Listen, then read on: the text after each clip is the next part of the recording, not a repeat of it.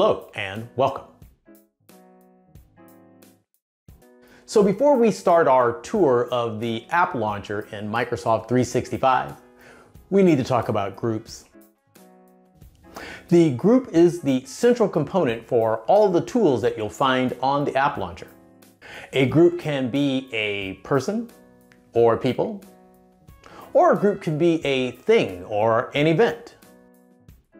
But whether you're creating a SharePoint site, a team, or using any of the tools on the 365 app launcher, you're gonna need a group.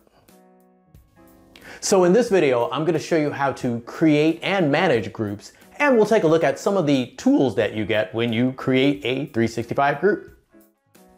So if you've got a few minutes, stick around and let me show you how to create and manage Microsoft 365 groups.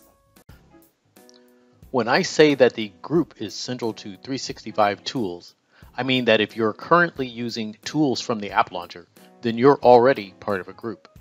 And that group is often your company or organization.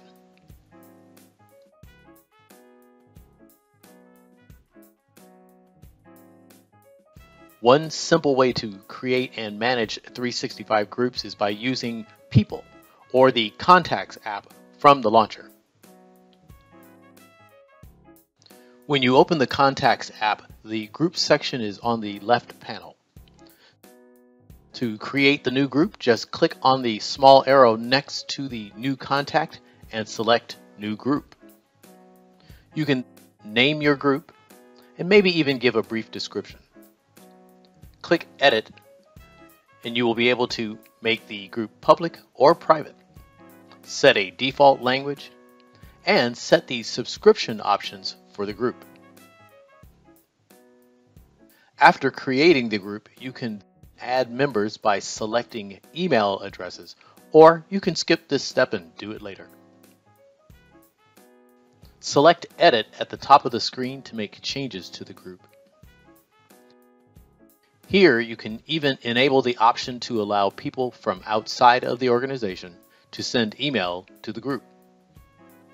Shortly after creating the group and adding members, each member will be notified by email that they are now part of the group. After a couple of minutes, or a quick screen refresh, you should see 365 tools that are now available for group use.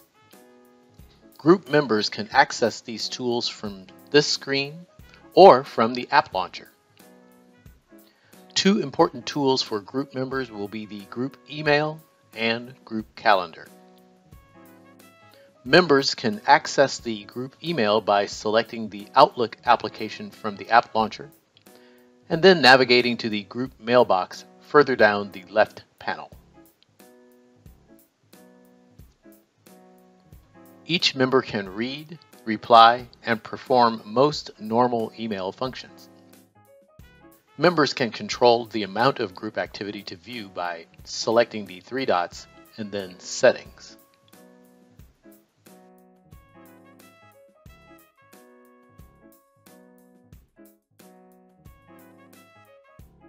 Members can access the group calendar by opening the Calendar app on the launcher and then selecting the group calendar on the left-hand panel.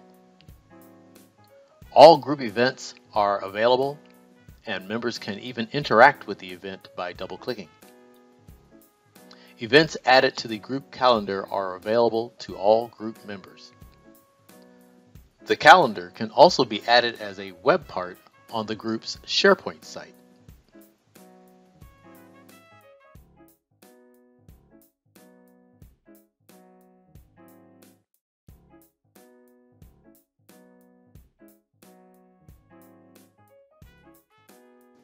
Each group comes with its own SharePoint site, where you can securely store all documents created, used, and shared by the group. You can even create custom pages that allow you to display and use group tools. You can access the group's SharePoint site by selecting SharePoint from the App Launcher or from the General channel of a team that you've created from the group.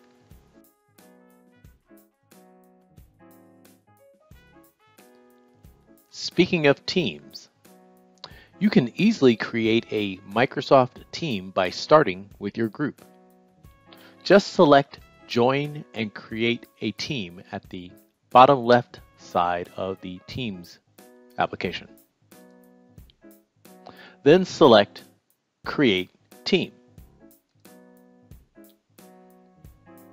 Select from a group or team from the options that are provided and then select Microsoft 365 Group. Select your team and click Create. The team is now created using all of the group membership properties that are provided for the team. You can even use the Microsoft team to manage the membership of your 365 group.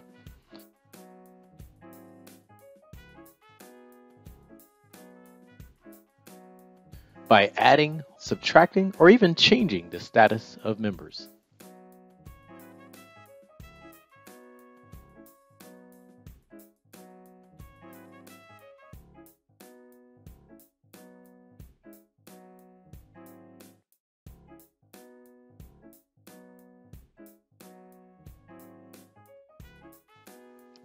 So that's a quick look at creating and managing Microsoft 365 groups.